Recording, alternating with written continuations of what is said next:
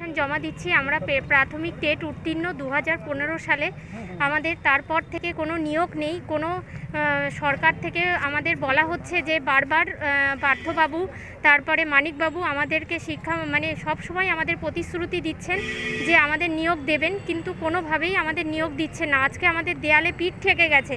আজকে আমরা কেউ অভাবের তাড়নায় মৃত্যুবরণ করছে, কেউ গয়নাগাটি বন্ধক দিচ্ছে, কেউ জমি বন্ধক দিয়ে এই রেগুলারে ডিএলএড কোর্স করেছে, তবুও আমাদের আজকে প্রশিক্ষিত থাকা সত্ত্বেও আজকে আমরা নিয়োগ পাচ্ছি না। পার্থবাবু সংবাদ মাধ্যমে আমাদের বলেছেন যে নিয়োগ দেবেন, কিন্তু তারপরেও আমাদের নিয়োগ দিচ্ছেন না।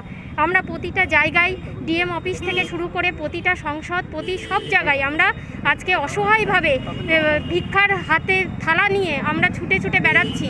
আজকে কেন উনি এরকম করছেন? কেন আমাদের প্রতি সহানুভূতিশীল হচ্ছেন না। আজকে আমরা যদি যদি সবাই সুইসাইড করি, তাহলে তার দায় কি সরকার নেবে?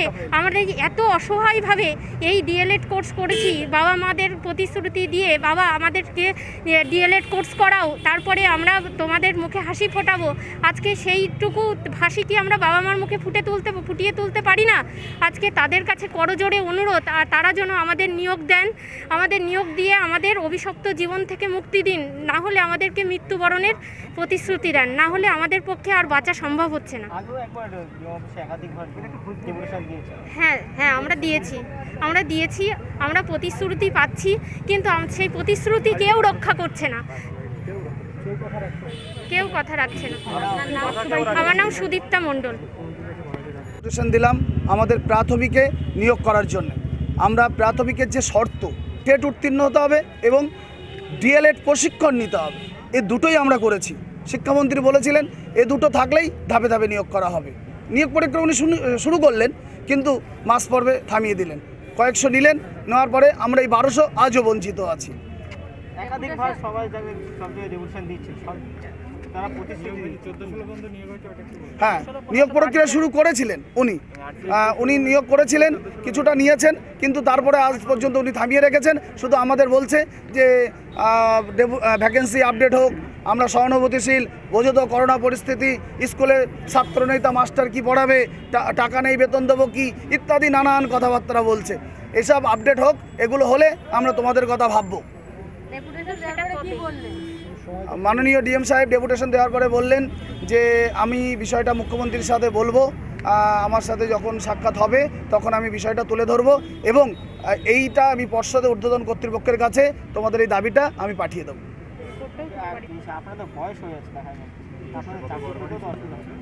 হয়ে এ কথা আমরা বলেছি শিক্ষামন্ত্রীকে বলেছি আমাদের পর্ষদ সভাপতি মানিকবাবুকে বলেছি যে আমাদের তো বয়স হয়ে যাচ্ছে আমরা কি করব?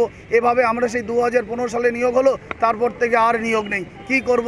তখন বলছে হ্যাঁ এটা সরকারের হাতে আছে সরকার বিষয়টা ভেবে দেখবে এভাবেই আছে ভেবেই দেখছে কিন্তু আজও কিছু হচ্ছে না। আমরা আপাতত সরকারের পক্ষ থেকেই আমরা আলাপ আলোচনার মাধ্যমেই চলছি। যদি সরকার দ্রুত সিদ্ধান্ত না নেয় ভবিষ্যতে আমরা আন্দোলনের পথ বেছে নেব এবং অনশনের পথও বেছে নেব?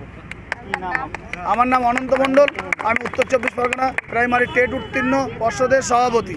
আমার, আপনাদের কাছে অনুরোধ, মাননীয় মুখ্যমন্ত্রীর কাছে আমাদের একটু দেখা করার ব্যবস্থা করে যদি দেন, আমরা মুখ্যমন্ত্রী, মানবিক মুখ্যমন্ত্রী, তিনি সবার জন্যে করেন। কি না করেছেন উনি? কিন্তু আমাদের সাথে যদি দেখা হতো, উনি দেখা করছেন না আমাদের সাথে, একটু দেখা করার যদি ব্যবস্থা করতো, আমরা মুখ্যমন্ত্রীকে জানাতাম বিষয়টা। দিদি, আপনি আমাদের বিষয়টা একটু দেখুন। নিয়োগ নেই তো, আমরা তো প্রাথমিকে পড়াতে চাই। আমার নাম অনন্ত মণ্ডল, আমি প্রাইমারি উত্তর চব্বিশ পরগনা জেলা, প্রাইমারি টেট উত্তীর্ণ প্রশিক্ষিত মঞ্চের সভাপতি।